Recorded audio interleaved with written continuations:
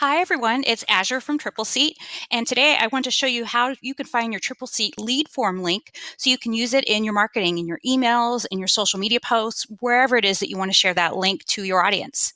The first thing you want to do is log into your Tripleseat account and then click on the settings on the left side of the page.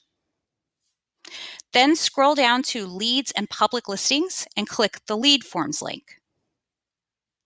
From here, you'll see all the lead forms that you've already created, and you can create new ones from here as well. Once you figure out which lead form you'd like to use, scroll over to View Live Page and click that button. And this will take you to the lead form page. Go to the top of your browser and copy that link, and then bring that over to whatever marketing tool you want to use. We'll put it in an email here. Just click the button to insert the link. And this will be in a button that recipients can click when they get this email. You can also use that link in a text link or in your social media posts. Now go grab that link and share it with your audience.